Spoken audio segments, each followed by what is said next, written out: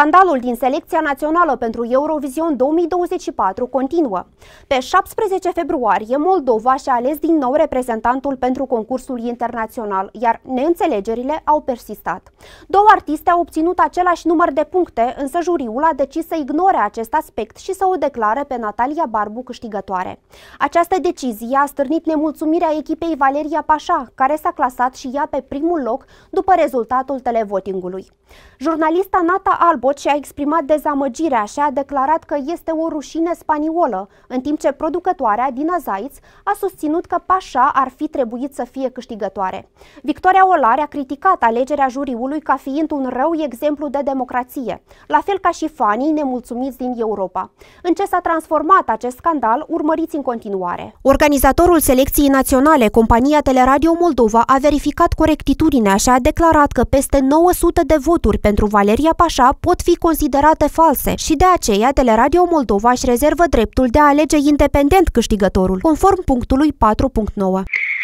Referitor la verificarea voturilor primite de finalista Valeria Pașa, Compania a verificat prin experții săi și prin procedurile specifice validitatea numerelor de la care Valeria Pașa a primit acele voturi și a fost constatat faptul că aproximativ 950 de voturi au parvenit de la niște numere de telefon care în prezent nu sunt valide. Redacția noastră a rugat experții să comenteze situația. У нас существовали внутренние отборы. И самый недалекий пример – это 2022 год. Они выступили, жюри и оргкомитет просмотрели эти заявки, и внутренним решением, согласно мнению жюри и мнению оргкомитета, было принято э, итоговое решение, что едут с Дубы. Вот это пункт 4.9. Он э, говорит о том, что оргкомитет оставляет за собой право выбрать представителя но до момента финала, до момента, когда потрачены деньги, когда потрачено время, нервы, pоработали большие команды. În ceea ce privește voturile din afara țării, interpreta Valeria Pașa spune că verificarea acestora i s-a părut cam ciudată. Vreau să mă pronunț că nu poate să fie adevărat, pentru că dacă vrei să votezi, trebuie să ai numărul moldovenesc, unul la mână.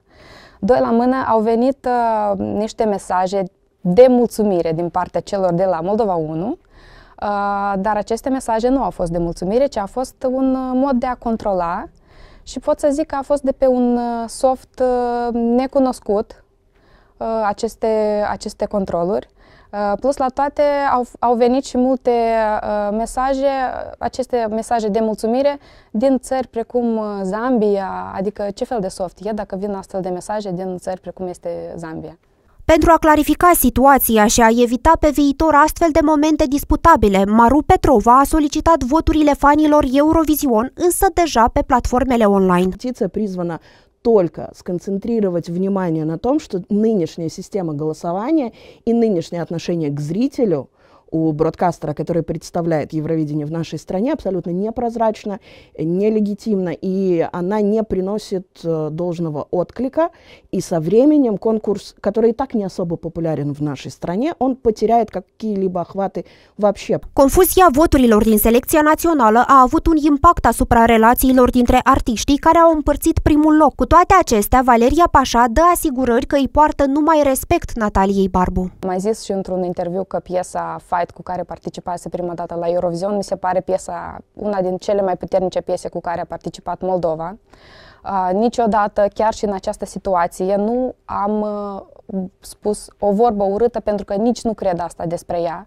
Deși am avut acuzații din partea echipei, Nataliei, uh, mi-au scris în, uh, în direct niște mesaje vocale, precum că eu am cerșit voturile publicului, precum că campania mea de promovare a fost uh, incorrectă, pentru că un adevărat artist Uh, nu încearcă să cerșească voturile. Valeria Pașa a remarcat faptul că în prezent se consultă cu avocații. Am încercat să contactăm echipa Nataliei Barbu pentru a afla poziția artistei. Cu toate acestea, până la momentul difuzării acestui subiect, nu am primit niciun răspuns. Anul acesta, Eurovision va avea loc la Malmo, Suedia. Semifinalele concursului vor avea loc pe 7 și 9 mai, iar câștigătorul va fi ales pe 11 mai.